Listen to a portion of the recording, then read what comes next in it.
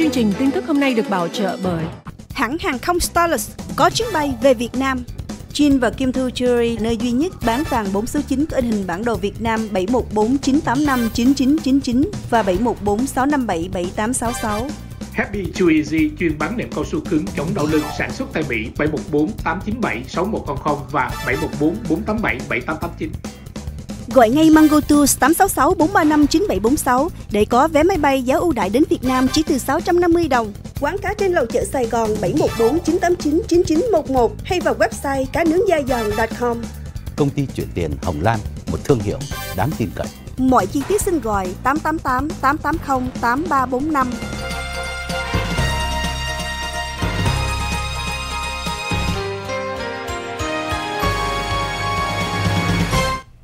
Chúng tôi đang gửi đến quý vị à, một bản tin và cái chuyện đụng độ này đang càng ngày càng tăng dần. Mình chờ đợi trong ngày hôm nay hoặc vài ngày tới bởi vì toàn quyền quyết định là từ ông Biden. Thưa quý vị, à, mặc dù tòa tối cao pháp viện ngày hôm qua đã ra phán quyết họ nói rằng việc mà thống đốc Texas ra lệnh để dựng hàng rào kẽm gai ngay đường biên giới Mexico và vào Texas là hành vi vi phạm vào luật liên bang. Liên bang có toàn quyền quyết định về vấn đề an ninh biên giới giữa một quốc gia nước ngoài và tiểu bang. Nếu mà bên trong tiểu bang thì ông Biden không có đụng tới, nhưng mà bởi vì nó nằm ngay giữa cái lằn danh biên giới, bên phía luật sư của Texas nói no, chúng tôi không có đặt ngay ở cái đường biên giới chúng tôi đặt lùi lại. Nhưng mà cái việc lùi lại đó vẫn không nằm trong cái tiêu chuẩn về chính sách di dân của chính quyền liên bang. Và khi mà tòa ra phán quyết đó thì tòa phán quyết như thế này. Chính quyền liên bang tức là ông uh, Biden được quyền dẹp bỏ hàng rào kẽm gai này dựng ở Texas.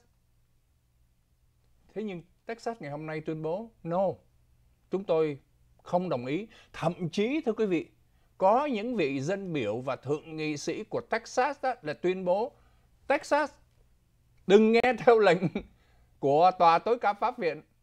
Tòa tối cao pháp viện là ra phán quyết thôi. Tòa tối cao pháp viện ra phán quyết, còn cái chuyện thực thi vấn đề pháp luật là ăn thua ông Biden.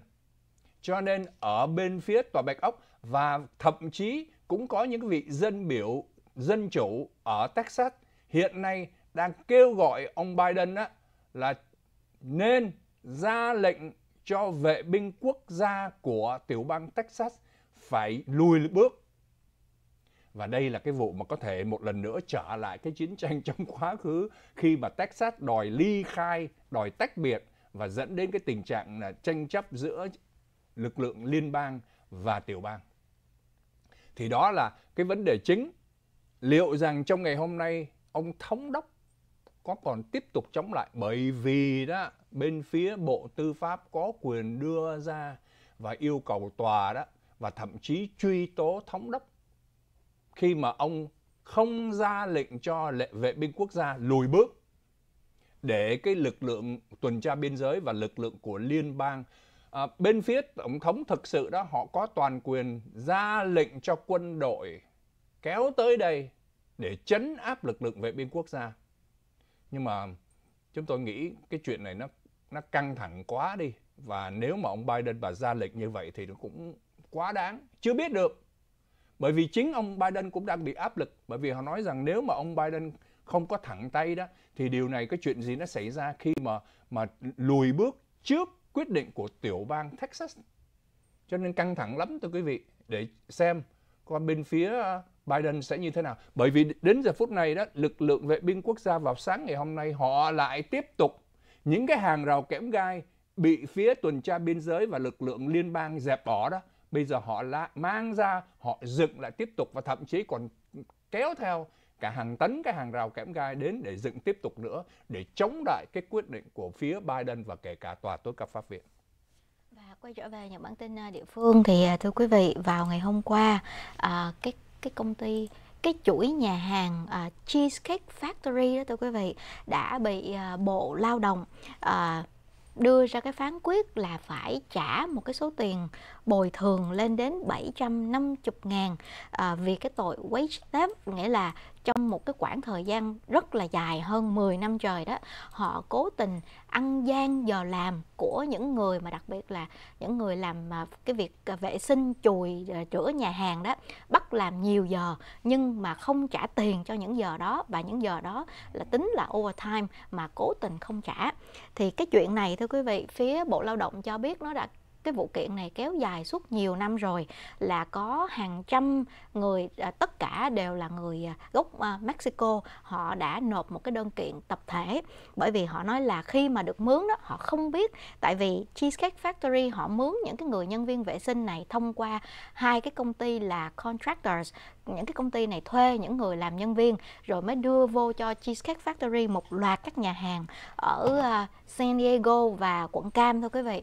Thì những cái người mà bị à, à, những nạn nhân trong cái chuyện này đó họ nói là từ lúc đầu khi mà hai cái công ty bên ngoài thuê họ đó là đã nói à, là làm trung bình là khoảng 8 tiếng được trả có 70 đồng một giờ thôi thưa quý vị rất là tội. À, nhưng mà họ nói trước là ví dụ à, làm 8 tiếng như vậy nhưng mà sau cái giờ đóng cửa đó thì phải tùy theo cái người manager là nếu như họ kiểm tra lại những cái công việc chùi rửa hay cái gì đó bất kể kể công việc gì nhưng mà nếu thấy làm không đúng người manager bắt làm lại thì phải làm rồi sau đó mới được đi. Thì những cái giờ đó không được trả tiền. Thì tất cả những nạn nhân trong chuyện này từ lúc đầu họ nói là đã được nói như vậy cho nên khi vào làm trong Cheesecake Factory họ làm y chang như vậy thì họ không biết là đây là một cái một cái ờ, một trong những cái phương thức abuse họ và cố tình à, ăn gian cái cái cái giờ làm của họ. Không một ai trong số này làm đúng 8 tiếng à, một ngày cả thưa quý vị. Trung bình họ bị ép làm từ 10 cho đến 12 tiếng một ngày nghĩa là sau giờ đóng cửa 9 giờ cái người manager kiểm tra lại và bắt họ làm thêm một số những cái chuyện gì đó. Đến nhiều khi 11 12 giờ khuya mới được về nhưng mà cái giờ mà từ sau 9 giờ đến 12 giờ không hề trả cho người ta một đồng nào cả. Và cái chuyện này kéo dài từ năm 2014 cho đến 2018 à, quá lâu cho nên là trong cái đơn kiện này là mấy trăm người thôi nhưng mà Bộ Lao động họ nói là nếu mà đây là cái cách mà Cheesecake Factory làm mà đã có thông đồng với hai cái công ty kia thì à, cái số nạn nhân nó sẽ còn nhiều hơn như vậy nữa. Cho nên 750 ngàn này đó là chỉ à, tiền phạt cho Bộ Lao động thôi. À, Bộ Lao động nói là họ đang giống như cần một cái thời gian để mà tập hợp lại tất cả những ai từng làm ngừa nhân viên vệ sinh cho Cheesecake Factory mà bị à, ăn cắp giờ như thế này đó tìm đến Bộ Lao động thì lúc đó họ mới tính được hết là bắt Cheesecake Factory bây giờ phải trả lại những cái giờ làm cho những cái người này và đây là những cái giờ mà còn overtime nữa thì cái số tiền bây giờ chưa tính được.